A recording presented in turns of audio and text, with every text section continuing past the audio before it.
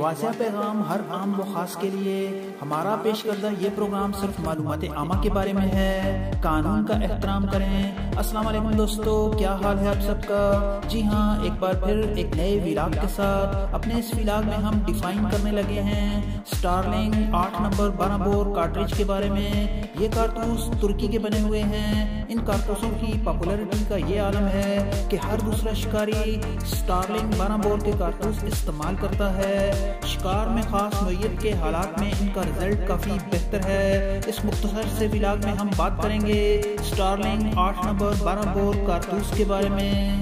हमारी ये वीडियो पसंद आए और आपकी मालूम में इजाफे का सबब बने तो इस वीडियो को लाइक ज़रूर करें। और हाँ दोस्तों, अगर आप इस चैनल पर नए हैं तो हमारे इस चैनल गन दोस्त वीडियो को सब्सक्राइब भी कर लें, ताकि आपको इस तरह की मालूमती वीडियो की खबर सबसे पहले मिल सके। स्टारलिंग आठ नंबर के ये कारतूस कैसे हैं, आइए जान लेते हैं।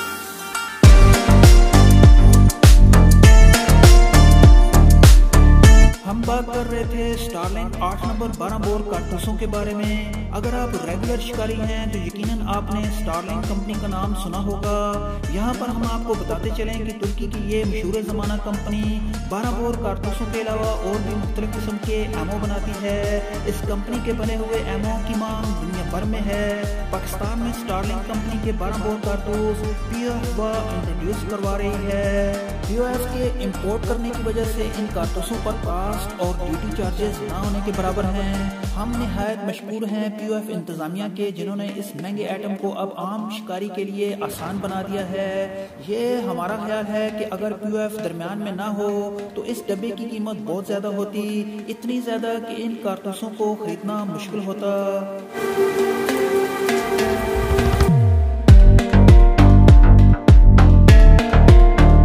छोटे परिंदों के शिकार के लिए ये कारतूस शिकारियों में काफ़ी मकबूल है। कुछ दोस्तों का ख्याल है कि स्टारलिंग कंपनी के ये कारतूस पीओएफ से बेहतर हैं। एक मामूली सा एज इन कारतूसों को हासिल है। पीओएफ के कारतूस 31 ग्राम, जबकि स्टारलिंग कंपनी के ये कारतूस 32 ग्राम में दस्तियाब हैं। मामूली सा रिक्वायर इन कारतूसों में ज़्यादा है। इस वीडियो में आप देख सकते हैं चंद स्पेसिफिकेशन इस कारतूस के बारे में। 32 ग्राम के साथ 70 मिलीमीटर इस कारतूस की लंबाई है।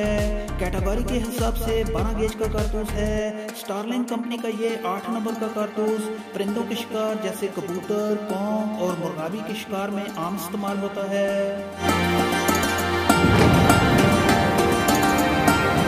अगर आप सीज़न में शिकार खेलें तो जिन दोस्तों ने अभी तक स्टारलिंग कंपनी के इन कारतूसों को इस्तेमाल नहीं किया, वो ज़रूर एक बार इन्हें इस्तेमाल करके देखें। यकीनन आपको शिकार का लुत्फ आएगा।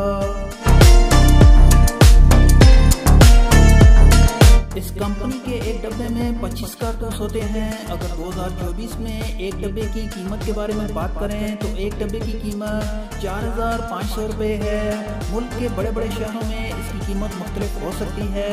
ज़्यादा गिला शिकवा ना करें। क्या आप स्टार्टिंग आठ नंबर के इस कारतूस को पसंद करते हैं? अपनी राय से ज़रूर आगाह करें। बहुत शुक्रिया।